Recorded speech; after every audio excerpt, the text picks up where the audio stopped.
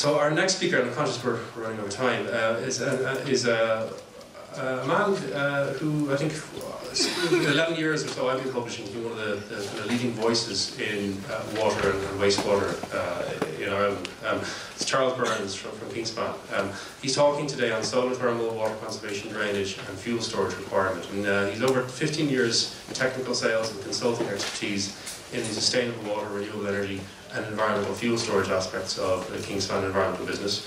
Water and energy cost-saving solutions as well as wastewater disposal have been recognised as, a- as a major concern for Ireland's environmental, economic and legislative decision makers. And these are the, the key areas that Charles manages and advises on a daily and strategic basis. So over to Charles.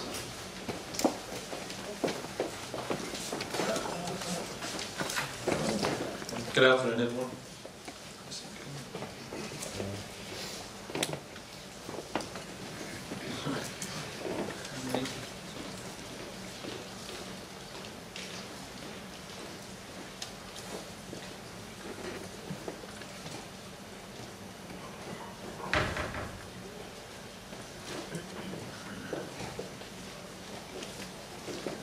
Okay, Uh, my name is Charles Burns. I'm from Kingspan Environmental. As Jeff said, unfortunately, I have been talking about water harvesting and uh, the treatment of, of uh, sewage for a long time. Sometimes as a, a lonely voice. Uh, there are some people in this room I've seen over the years, and uh, I'm really glad to get this opportunity from Alan and the TNT merchants. To kind of give everyone a bit of a, an update on where, where we are and what we see is happening in the industry. Uh, unlike uh, most people, Kingspan are not just an insulation or panels company. We actually have an environmental range of products. We are the, the European leader in wastewater management and rainwater harvesting management in Europe. Uh, we don't, unfortunately, have a very significant business in Ireland because the building regulations, as we know, or the, the finances don't allow for it. But with the instigation of new water rates, I think this is becoming much more to the fore. So what I'd like to talk, talk about, first of all, is sewage treatment systems. Not the sexiest topic in the world, but unfortunately everyone has to flush the toilet. Uh, some of us, you, you might know our brand, which is called Klargester.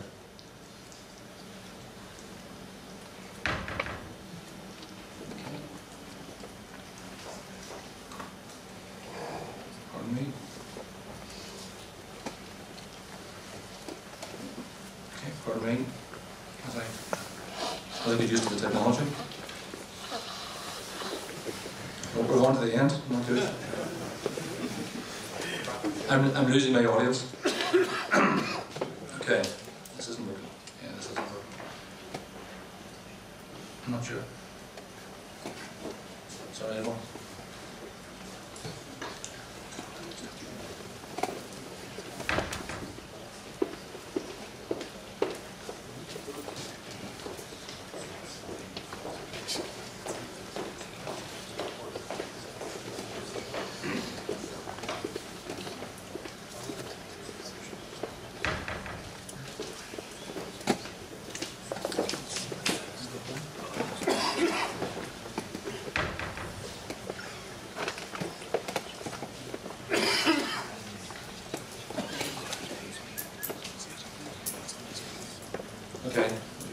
hopefully we're back on track again.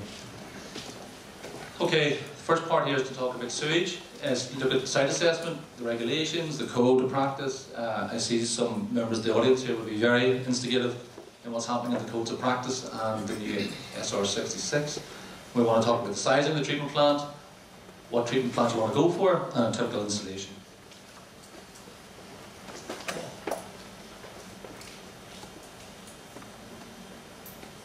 Okay, first one I want to talk about here is what, what decisions do you have to make when you're choosing about sewage? The first and the easiest, and unfortunately not good for our business, is connect to the mains. If you can connect to the mains, always connect to the mains. It's the easiest solution, it's the most cost effective solution, and ultimately it's Irish Water's challenge, not, not your clients. The next is, first of all, you go by gravity, the next you go by a pumping station. So always we would, we would advise go first to the mains.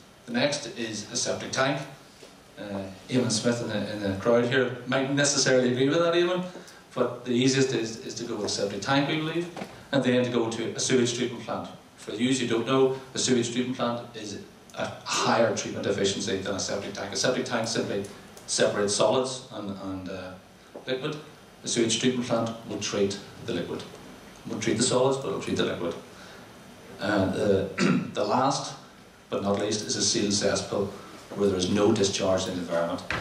We've only seen that in very, very, very tight uh, standards. We've never seen it in Ireland, but we see it in the continent, particularly in the Channel Islands in the UK, where there's complete uh, groundwater protection, so you cannot discharge sewage into the environment.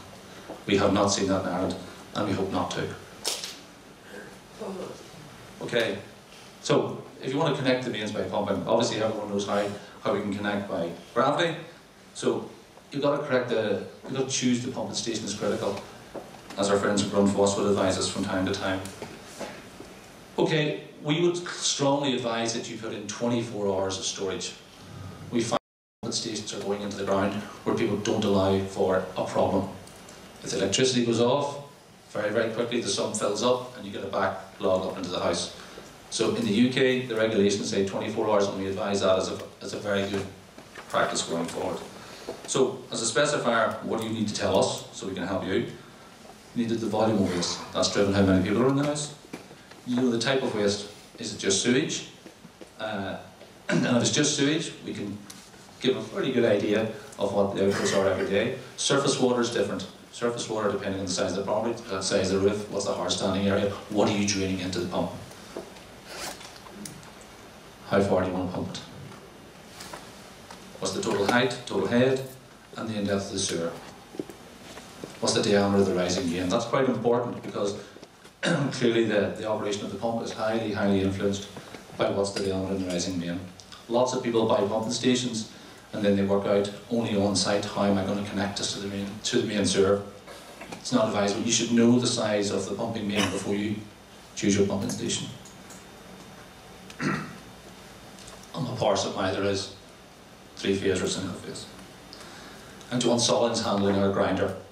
We're finding in different markets in Europe, grinder pumps are now being banned for sewage.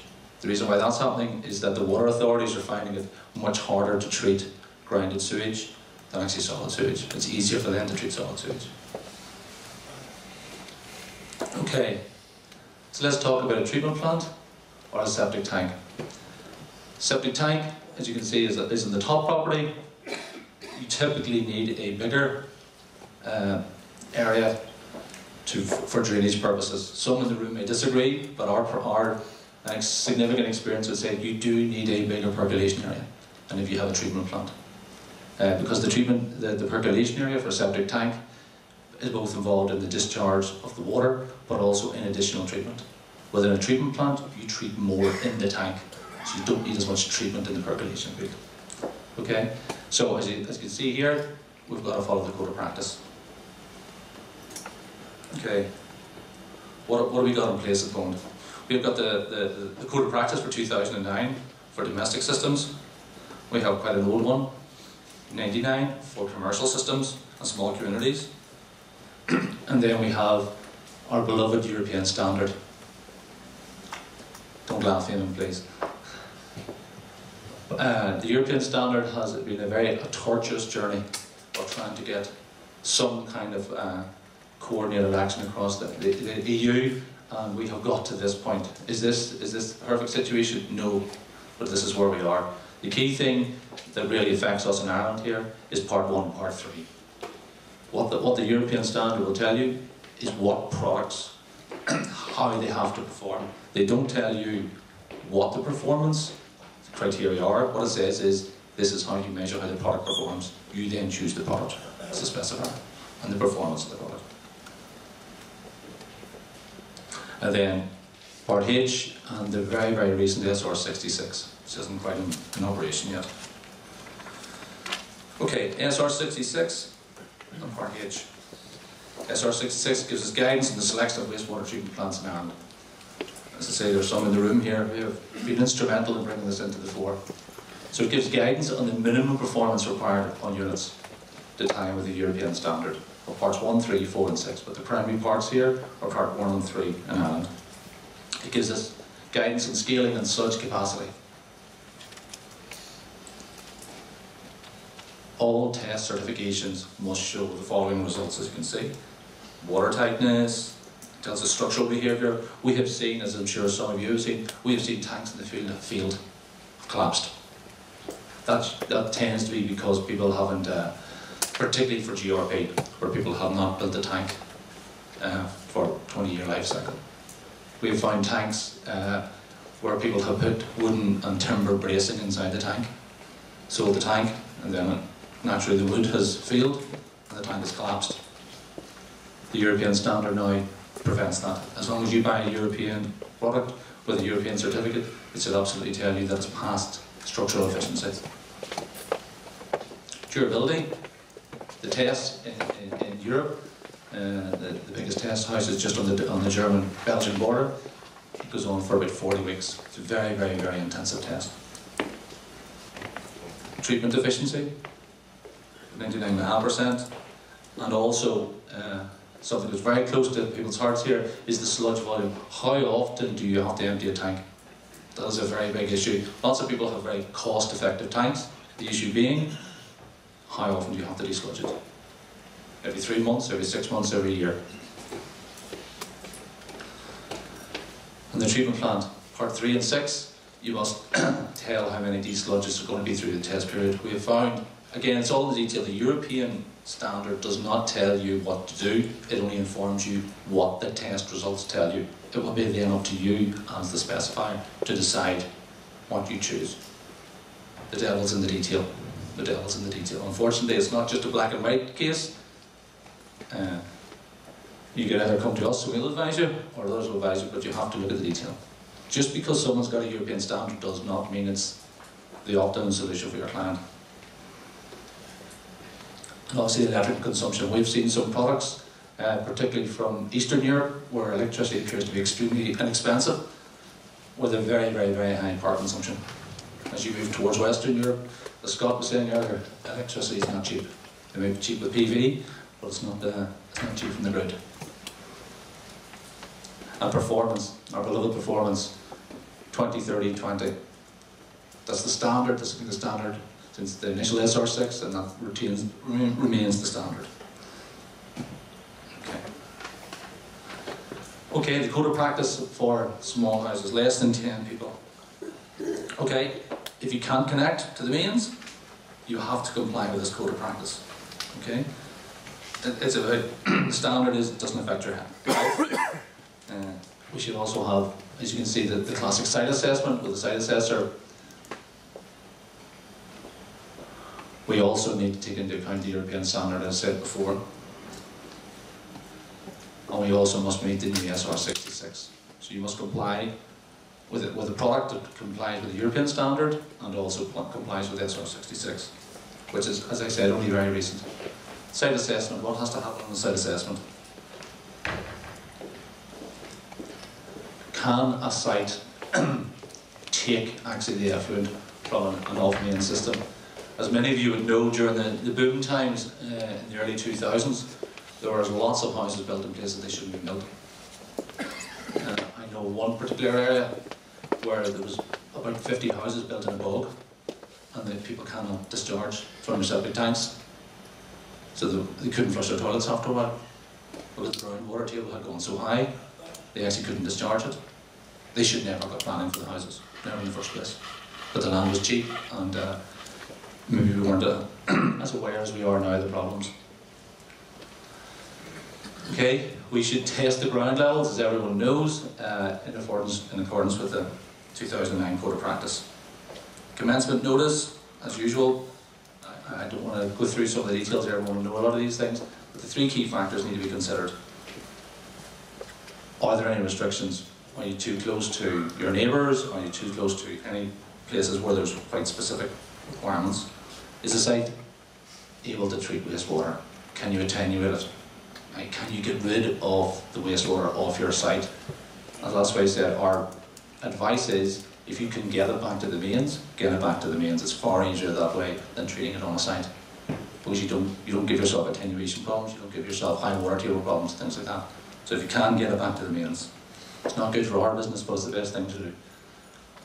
And can you get rid of the wastewater volumes? Okay, you have to do desktop study, you need a, your on-site assessment. What does it involve? It involves your- a visual assessment, you take a trial hole, you look at the structure, you look at the mass characteristics, you look at the bedrock and the water table. You've got to see where the water's going to go to. You do your classic perk test. What's going to happen? Can the soil take the hydraulic load or can it not? Okay. Next, you go through, you look at what's happened to the data, and what does it tell you? What does it tell you? Can you discharge into that site or can you not? That's, I I would assume most people understand and have been involved. If they haven't done this themselves, they know many other professionals who do this. It's quite an easy test, it's quite straightforward, but it's important to do it correctly. But the one thing I would say is, in our experience, don't fool yourself with the results. If the results are what they are, they're telling you that you need to think again about where you're going to site the wastewater system and how you're going to get rid of the, the hydraulic load. If it doesn't work, you need to think. You can't just ignore it, pretend it's not there. You must think about it. Because once you start flushing the toilet, that's when the real problem starts. But at that stage, the problems are very, very, very deep. Okay, how are you going to get rid of the, not the sewage, it's actually the water, it's not the sewage, the problem here, the problem is always the hydraulic load. And what are you going to do? uh, where are you going to site it? Well, you can, you can actually solve a lot of our, our hydraulic problems depending on where you site the product. Uh, and I would, what I would say is that for ourselves in Kingspan, we can absolutely advise people where is best to site a product on the site. Because you can put the product on the wrong place. You can have the right site, just put the product in the wrong place. Therefore, you can't get rid of the, the, the hydraulic load. and then you fill, your, the, fill the form and the map and everything. Standard procedure into, into planning. There's your site characteristic form. You may or may not be familiar with it. it's fairly straightforward. Anyone who's done percolation tests will know how that works. I'll not go through the very detail, but this is how you, this is how you fill the form in different parts.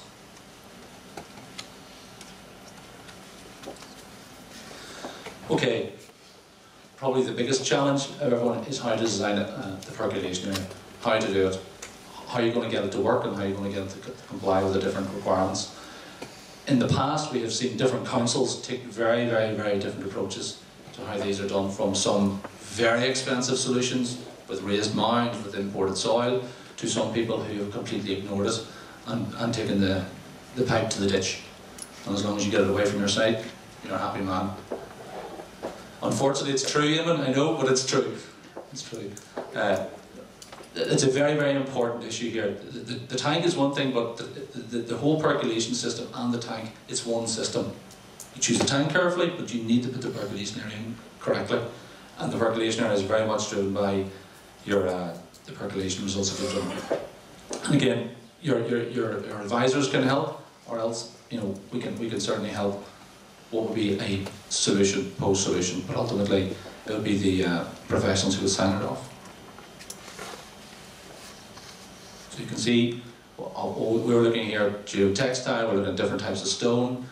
Uh, also in the pipe, we have seen people on site put in land drainage pipe. And it crushes, it just crushes. So all of a sudden the septic tank doesn't work, the septic tank doesn't work, why not? Because the pipe's been crushed. Crazy stuff, absolutely crazy stuff. Just takes a very small bit of attention, just at the, at the, top, at the point of building we find the geotextile clearly protects the, the installation and the topsoil. What, what, in our experience, we would say the percolation area is easy to do, but you just got to be careful how you do it. It can't be just ignored. It can't be throw a couple of lines pipe into the ground, put a bit of stone around it, and off you go. I'm sure nobody in the room would do that, but that's what might happen at times. Okay, our latest amendment in 2014. So we all have to have an assigned assessor before the commencement of the project. Okay, it'll be the responsibility of that certifier to give a certificate of compliance, as we all know. That certifier will use other certifiers to help ancillaries professionals. Okay, and, and particularly for our area, they'll be looking at uh, the code of practice and the current building regulations. Ancillary certifiers, uh, they can supply uh, certification them to the primary certifier. Okay. Okay, what are you looking for in, in terms of uh, certification? You need to be looking for for your treatment plant, you'll be looking for your percolation area, and the installation of them both. Okay, depending on how, how you work with your, your advisor, you can either have an installation certification for either or combine the both. We're seeing different practices. Okay, sizing a sewage treatment plant. Domestic dwellings, it's 150 litres per person per day. Uh, we assume 60 grams of BOD, which is the strength of the sewage, and we assume ammonia level of 8. Okay, what we're talking about, we're talking about coming from toilets, we're talking from baths, kitchen waste, uh, and do, uh, all domestic sewage. That is a standard we use across the piece. We don't change it uh, because you couldn't change it. You cannot uh, uh, do it for each house, unlike air tightness where you can do it for each house. We assume certain standards, and that's assumed actually in quite a few countries across Europe. And the same with ammonia there at the bottom. Commercial waste is slightly different. Okay, you've got to look at where it's coming from. Is it coming from toilets? Is it coming from kitchens? Is it coming from manufacturing? Is it seasonal? We would find, for example, with race courses, race courses would have very, very, very different requirements for sewage treatment as compared to a bar or restaurant. If you go, uh, primarily because a race course might only open for 20 weekends a year. So it gets a huge hydraulic load, a huge biological hit for two or three days, and then nothing happens for a month. That's quite difficult. To, but you can specify it, you can design it, but you need to know that before you do it. Okay, and the EPA in, in its guidance gives us flows and loads, so it actually tells us for all these different applications what parameters you need to do, what assumptions you need to do to size these. Again, what we can do is if, if we get the different information, we can size up the product for you, we can tell you this is what you need to do. Okay, selection. Okay, what things do you need to consider? Okay. Is it domestic, is it commercial? What is the standard? Is there special, is there a high standard? For example, if you go to areas particularly where the fisheries are involved, you will get some quite high standards of discharge. But typically it's 20, 30, 20. We're looking for ammonia reduction, we're looking for phosphate reduction, total N. Uh, total N is something we have seen in certain sites in Ireland. Uh, it's very driven by local councils. It's extremely difficult to get. Where you're trying to reduce the total nitrogen coming out of the product, very, very, very difficult and very expensive to do correctly. Some people we find in the past will say they can achieve it, uh, but when you go back and test it afterwards, there may be some challenges around it. Okay, what planning extensions are there? Are there very, are there very low flows? As I say, we have found in social flows, and in religious centres, race courses, you will get very, very, very low flows at certain times of the year, which will cause significant problems when trying to size the product. Here's a typical installation in a very dry Irish site, Scott. The, uh, this is actually midsummer for us. Uh, you can see it's quite significant when you're putting in some commercial systems, what you're talking about. You can see the large base here. The base has got to go in, really doesn't matter what the ground conditions are, to stop the product from popping up when the water table up. You can see the anchor points in the base. We actually strap the tank to the anchor points to try to keep the tank down. Even though it's a tank, and it could be filled with 80 cubic of water, the tank will still go up, pop up if the water table goes up. So you've got to anchor the product down. We, we have seen a lot of people put into where they put a treatment plant or something in during the summer, where the water table is very low, everyone thinks it's a very simple installation, everyone forgets what it's going to be like in January. You need to put the base in, you need the product protected so the groundwater will not put it over the ground. And that does happen quite a lot, particularly in the, the, the Midlands and the West.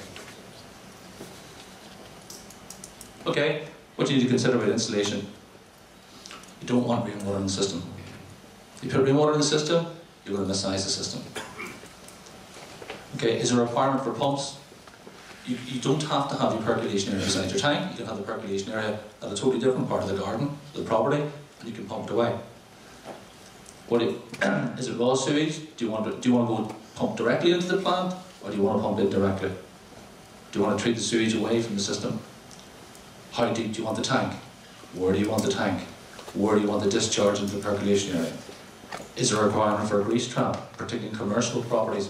Grease will kill the biology within a tank, so you need to protect the tank from grease. Whichever tank it is, whether it's Kingspan tank or anyone's tank, keep grease out of the pot. And make sure you follow the installation guidelines. What to avoid? Don't put rainwater in. We do have quite a lot of it, and I'll talk about it in a minute. Chemical toilet waste and carbon parts, keep it out of it because it kills the biology.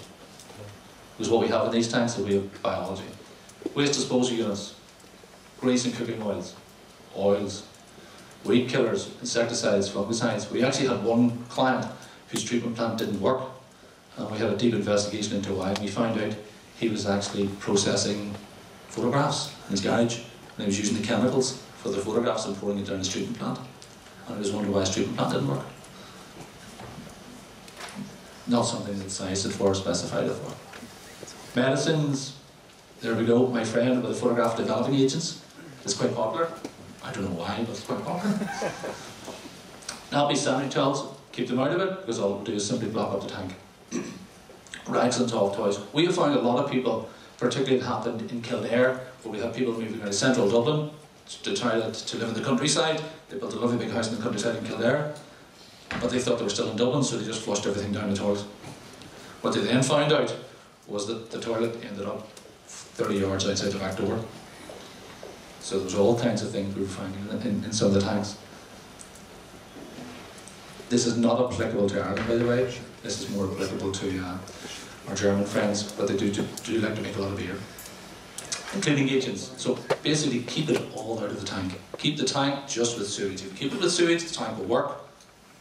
Uh, as long as you follow the processes, the tanks will work. A lot of the ghost stories, a lot of the bad stories about sewage treatment is bad practice. Bad practice. It's not that the products or the percolation is just bad practice. So the second part of my presentation, I just want to talk about rainwater harvesting. As Jeff said, this is probably a topic that I was out on. I was out very early on, Jeff, long before people were talking about it. We as Kingspan, we said we think this is going to be a really, really big issue. This is our home market, uh, and it's just taken a long time for everyone to realise that we do have a problem. Whether we should be charged for it or not, and it's not for me to comment. But I just want to talk about what are the issues and what are the solutions, particularly for you as designers. Okay. What's our water challenge? What's our legislative requirements? How do you design it? And what products should you, do we advise that you should think about procuring or specifying? What's our challenge? We've got lots of rain. We have lots and lots of rain. And everyone thinks because it falls from the sky, it is very, very easy to clean it and get it back to your tap. If you don't have the infrastructure and you haven't spent the money on the infrastructure in the last 20 years or 50 years, it's really, really expensive. I know nobody wants to hear that, nobody wants to fund it, but it is really, really expensive. And every other country in Europe has had the same problem. The difference is they've been putting together an infrastructure for 40 years. In Europe, probably since the war. We have a lot of catching up to do. We have an awful lot of catching up to do. Okay. Dublin's short of water. Hard to believe. But actually Dublin, as I'll show in the next slide, is actually the driest part of Ireland.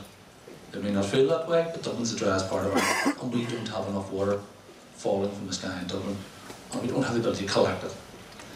So we have a supply and storage problem.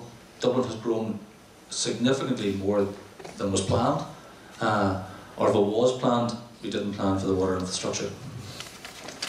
So the cost of development is going to be extremely high. There's always been huge political debate over this, but the reality is Dublin doesn't have enough water. So what is the solution? We all love water meters, so we're putting water meters in. That uh, will have some effect upon usage, but we don't believe uh, it will have a huge effect upon usage. What we believe what people need to do is people need to think about how can they reduce not only consumption but how can they replace the water they buy from Irish water with the free water that falls on your roof. Very, very simple, no different than PV, no different than PV. If you can generate it yourself cost effectively, we absolutely advocate you should do it. okay, see some of the issues with. so most people think, for example, with rainwater, the issue is uh, we can't get enough drinking water. We, oh, we all know what happened in, in, in Cork. We all know what happened in, in, in the Midlands. Attenuation, stormwater attenuation is a huge issue because what we're doing is we're not controlling the water that's coming off our buildings. It's hitting hard standing areas and it's heading into a, a drainage system that cannot cope. So, for example, in London, we did a scheme in London, in central London, in the borough of Chelsea, where we took the rainwater off roofs and we stored it in tanks all around Chelsea because they had a very, very big bad flooding, flooding problem. They couldn't increase the size of the, the, the stormwater sewers, so they actually put stormwater attenuation above ground all across Chelsea. And if you're ever driving around in Chelsea, just look for big blue Kingspan tanks. They're dotted all around the back of the buildings, where they're taking the rainwater off the roof and they're just storing it for a while. And then they're letting it go into the mains. So, where's flooding? Flooding is really affected. It's not by agricultural land, it's large, hard, air, hard standing areas. Obviously, we have global warming, we have significantly changed rainfall patterns. Absolutely, rainwater harvesting will alleviate that. In Kingspan Panels, one of our other divisions, we are, we are seeing lots of large sheds now putting rainwater harvesting in because when you put a hard shed or a large shed in, you put a large hard standing area, you're actually creating an attenuation problem. So we can solve both problems with that. So for example, if you put uh, siphonic drainage in on a, on a roof, siphonic drainage simply gets the water off the roof quicker. The question is, where does the water go? If you put it straight into a storm sewer and the storm sewer is not sized correctly, you'll have a flood. It'll just back up.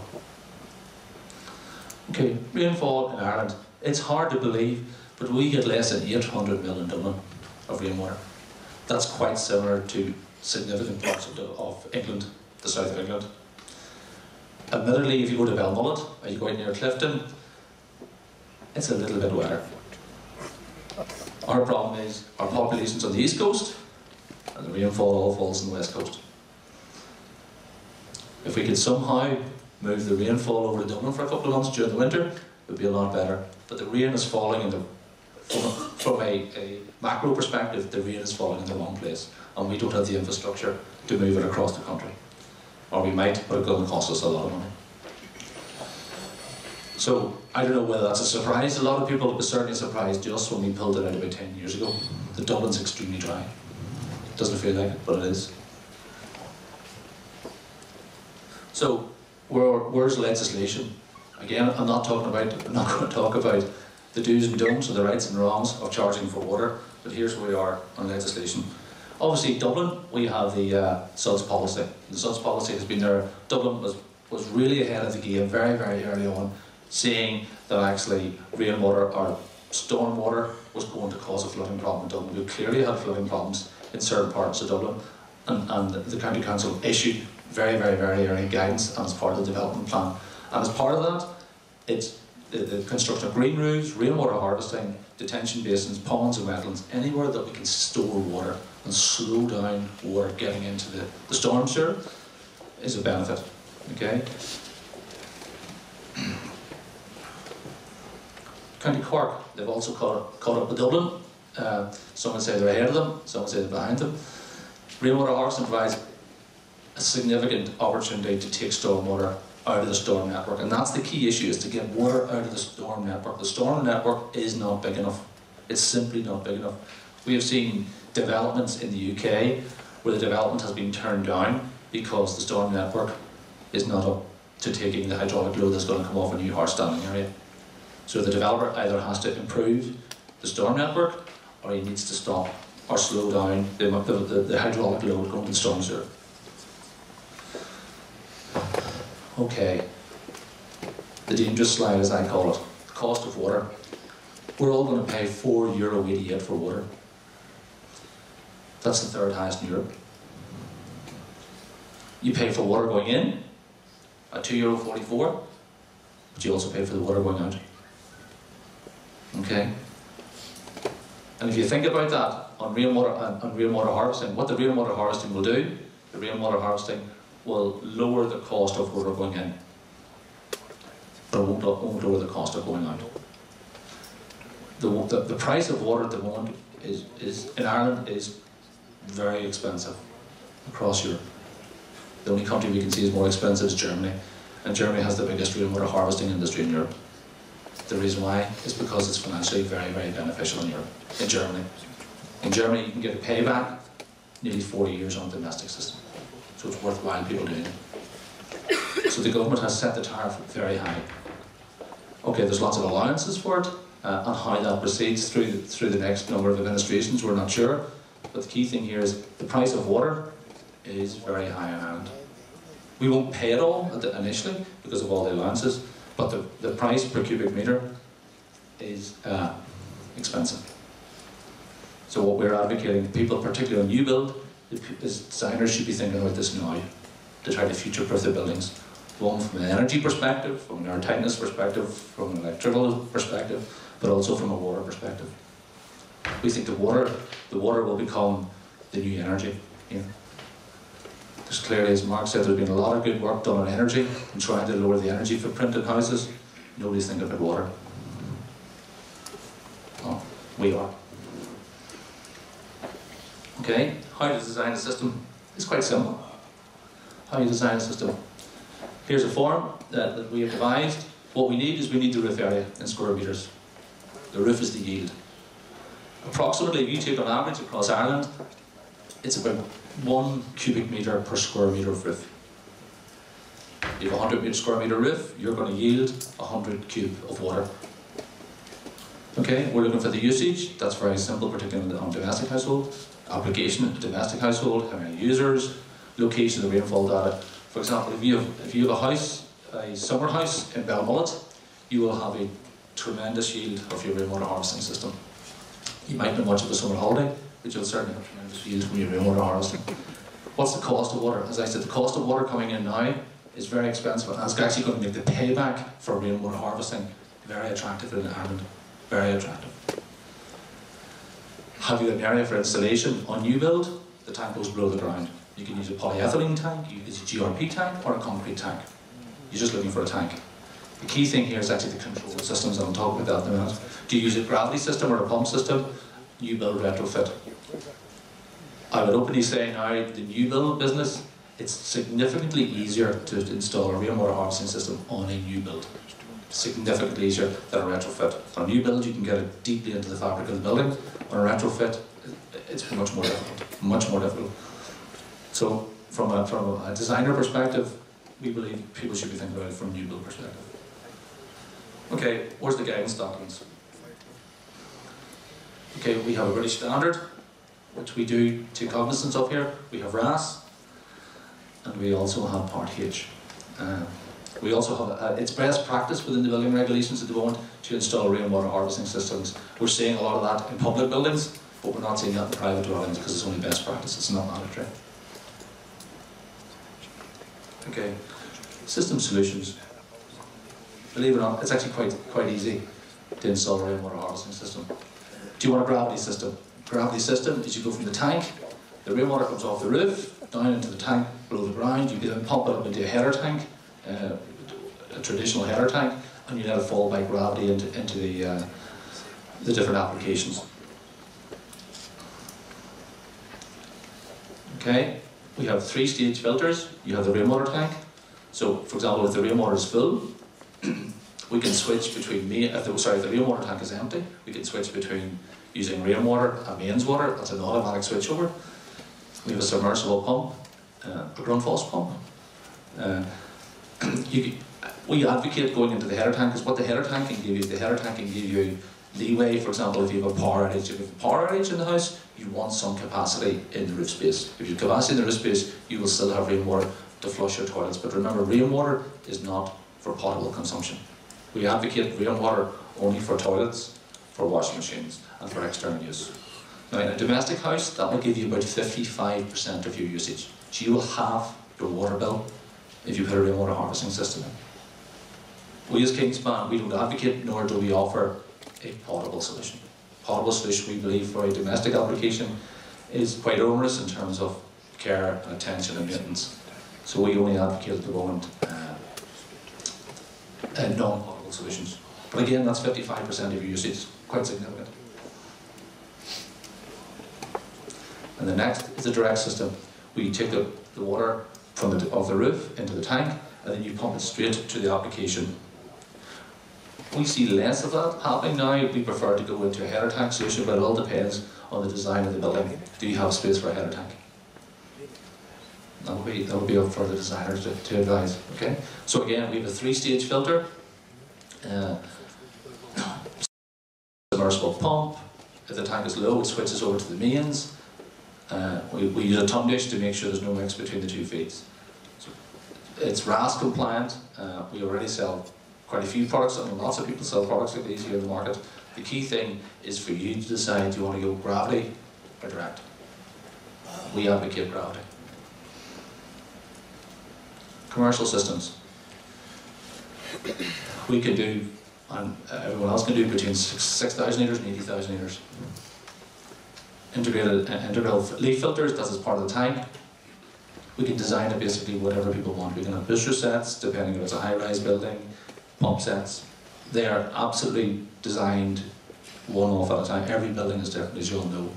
But again, it's very, very easy to do. We just give us the inputs and we can design it.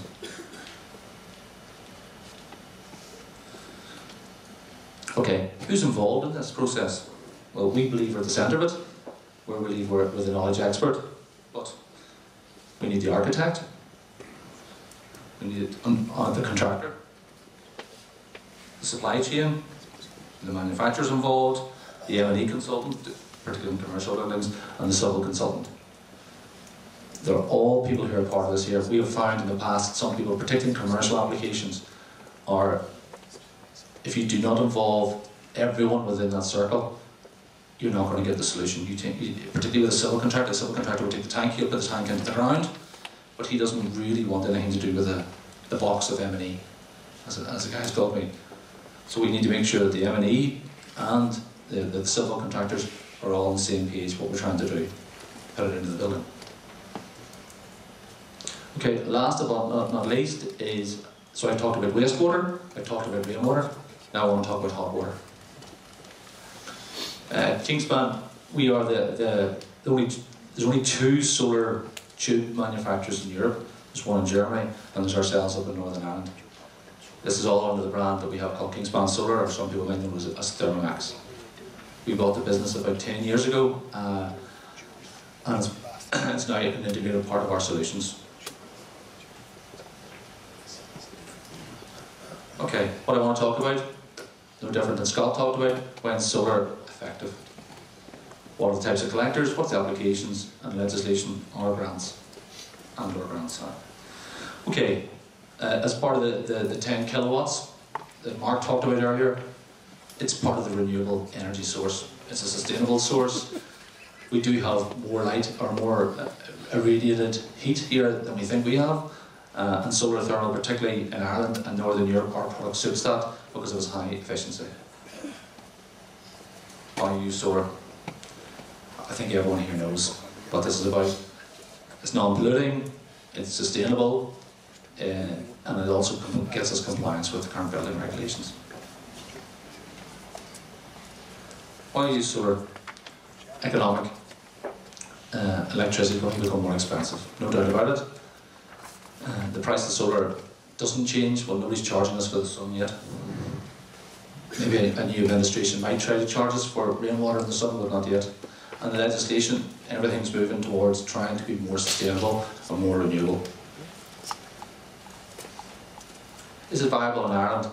As Scott said, solar is viable in Ireland, whether you're making electricity from it or you're heating your water. We have a good uh, supply of sun, believe it or not, and it's, equivalent to about 130 litres of oil per year, which is the, the, the free sunlight. Now, I probably shouldn't be admitting that, but I'm responsible also for the oil tank business in Kingspan. Uh, but we think that solar thermal and oil are a good mix with the, with the current building regulations. Okay, what's the system? You have a solar collector. Whether it's a flat plate or whether it's a tube system, you have your pump station, you have your uh, hot water storage, boiler, and your flow, your controllers, and your expansion vessels. Uh, I'm not sure how many components we have, and as Scott said, he's about 50 within a PV system. I'm not sure of any, but again, it's a combined system. And what we find particularly, and I think our, our advice to, to uh, uh, specifiers is we find that people are not specifying the entire system. They're specifying the, so, the solar thermal, but they're not specifying the tank curve enough. And we're finding the tanks, the, the hot water tank is actually being undersized sometimes for the solar collector. We've got to make sure those things are joined up. We're finding people are buying 30, 30 uh, 3 square meters of solar thermal and they're buying a 200 litre tank. It doesn't make sense. You're, you're actually creating too much energy for the tank. So that's just something we need to, we would advise everyone just to watch for. And that tends to be because the tank is being specified by the builder or the plumber. So just be careful. Okay, what factors affect the solar thermal system? There's a difference between the, the collector facing south and a collector facing west is about 20%. North is about 50%. So it's very similar to what Scott said. If it's, if it's, uh, to the, e- if it's east-west, that's not as big as an issue as as it is north. It doesn't have to be south facing. Uh, the inclination, we, you, can put a, you can put a collector at 90 degrees, a flat, but it'll only get 20%. We prefer getting up to around about 35 degrees. Okay, the larger the area, the more solar available, no different than PV, but don't oversize the system. You oversize the system, you're actually going to create too much heat. Uh, and because it's a closed loop system, you need to deal with the heat somehow. So you need to be quite careful, don't oversize it. And we can help you, we can help you with a commercial building, domestic building, we can size it, but oversizing a solar thermal system is not advisable at all. Again, the larger the cylinder, the, the better the thermal store. Unlike the battery for PV, we do have a, a battery. It's called a, a, a hot tank or stainless tank. So we would advocate the bigger the tank, the better, because then you can collect as much of the energy, you can keep as much energy as you can. But unfortunately, what we're seeing is we're seeing plumbers put in small tanks, 200 litre tanks. It's, it's, it's not efficient for the system. Okay, hard size the system. What's the hot water requirement? That's driven primarily by how many people in the house. Okay, you need to calculate how much volume you need to store. That's something to say, something we're finding people are forgetting about a lot. Uh, they're specifying it, but they're then the actual practice is the the plumber may not be putting in what's, what's exactly required. What size of area do you need? So in a domestic house, it's either typically two square meters or three square meters. On a commercial building, it can be all kinds of size, depending on what you're looking for. What's the roof area and what's a collector layout? Is it east, west, is it south? Uh, and do you need it, what's the pitch on the roof? And then we'll select the size for you and we'll tell you what components you require. Collector types. Flat plate vacuum tu- tubes. Uh, we offer both. We, we, we manufacture the tubes and uh, we have a, a supply arrangement for flat plate. The tubes are made in Northern Ireland. Flat plate collectors. Okay, two, two systems, the Rise system, the serpentine system. I'm not going to go into detail about it. But you can see with flat plate, you can put a flush into the roof or on the roof with brackets. It's very, very similar to PV in, in terms of its look. Okay, probably what, what, what I want to talk a little bit more about is, is the vacuum tubes. The difference between the vacuum tube primarily and, and, and the uh, flat plate is performance, performance, performance, performance. Uh, and, and we can help you with this here with uh, your DEAP calculations to give you the right orientation to meet your your uh, renewable 10 kilowatt requirement. I'm not going to go through the detail of the product now because I'm sure some of you have already seen it, but the key thing is, is that it is our strong belief that a solar thermal system, if you're, if you're putting one in, you should put it in with a tube plate or a tube because of its, uh, of its efficiency. okay, there's two types. Uh, we have a, uh, a heat pipe and a direct flow. The product here, the key thing here is the, is, is the vacuum area inside the tank, or inside the tube, sorry. The vacuum area, what you'll find in some lesser products is the vacuum area, and the vacuum will deteriorate over time. We give a 20 year guarantee on the product. And that's very, very important. As Scott said at PV, these products are on your roof and they're staying on your roof. Most people will never go back to see what its performance. We will give a 20 year performance guarantee. The product will work as good as it did the day it's put up, as long as nobody's hit it with uh, something very sharp. So we stand by our product. It's classic Kingspan product. We will stand by it. And if it doesn't work or something is wrong, we will do everything in our powers to help. Okay, tube collectors, as I said, with heat pipes, we have a, a, a unique thermal limitation device. You can put it, as you can see, you can put it vertically, you can put it horizontally, it all depends. We tend to find that Ireland has been quite traditional in how it puts, but you can see in, the, in particularly in London and the continent, they do go for, for more vertical looks, particularly in the south facing building, for direct flow. What's the advantages of a heat pipe or of a, of a flat plate offer? It's low cost. Absolutely, it's very, very easy to get it into the roof, particularly the in-roof solution, and it looks flush. What's the disadvantage? It really, its performance isn't, isn't as good as a, as a tube collector. That if you do have high wind, it could, it, you need to be quite careful that the wind doesn't get below the collector and, to, and, can actually lift it off the roof. It's not secure in the roof. The glass and absorber can get dirty and it will affect performance. And, and higher volume content is equated to larger component sizes. So as you increase the size of the system, everything gets bigger very, very quickly and it's not efficient in lower light. So what you'll find is you find a lot of flat plate product is very suitable for the Mediterranean, places like this where there's lots and lots and lots of direct light. As you move to Northern Europe, the difference is quite uh, stark between the performance of this and a tube solution. Okay, what's the advantages of a tube solution? It's a higher solar yield, it's 30% more effective, and ultimately for, for you, it gives us better BER results. Very, very, very little thermal loss. That's because of the integrity of the vacuum. As the tube seal, we can, you can't get dirt and moisture into it. It works in cold and windy conditions, so it's not really affected by heat. It's more irradiated light. The tubes can be rotated, so within the system, you can actually rotate within the manifold the tube towards the best orientation. On a flat plate, you can't. The flat plate sits flush on the roof, and that's it. And higher temperatures can be achieved, particularly, and that's very, very suitable in the summer. You could, it can really perform at a very high level in the summer, and it can, it can retain the heat. What's the advantage is it does cost more. Absolutely costs more. And it's not easy integrated into the fabric of the building, so it sits on roof. It's on roof, it never gets integrated into the roof. Okay, so aesthetically it's not as good. Absolutely, and we would recognise that. But again, it's really the question here is, is what is it as what does your client want and what are you trying to design? Okay, how can you put it how can you mount it on the roof? Okay, so the flat plate and the heat pipe tubes require a minimum pitch of 25 degrees. The direct flow can be installed any way you want. But there are, uh, there are certain disadvantages to direct flow. We would find direct flow systems tend to be put more on industrial commercial buildings and a heat pipe solution tends to be put on domestic solutions. Okay, so you can see just a graphic there on all the different places you can put the product. Remember, you don't have to have the pitched roof, as I said, and you don't have to have it south facing.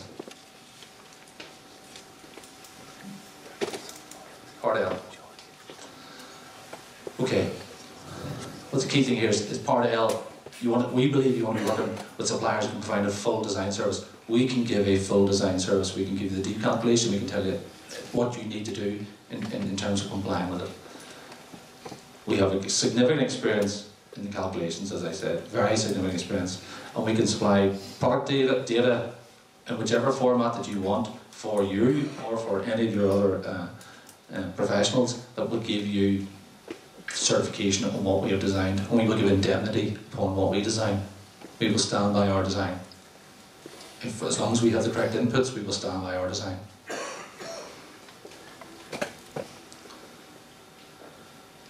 Okay, what can we do for you in terms of uh, service and support? We can design the product, we will give you full design and compliance support. We understand the regulations.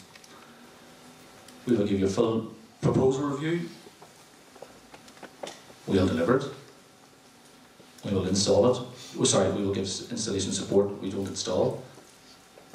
And if you want it serviced and maintained, we can do that too. Kingspan obviously is a very, very well-known Irish company and we won't walk away from anything. Absolutely, we will not walk away from anything. But what we find is that people sometimes only use parts of the service and we lose a little bit of control within the middle. So you tend to find, for example, as I said earlier, we're finding people are putting in wrong size uh, cylinders. And that's a problem. That's absolutely a problem. People think a cylinder is a cylinder. It's not. It's got to be sized towards the, the collector. And thank you.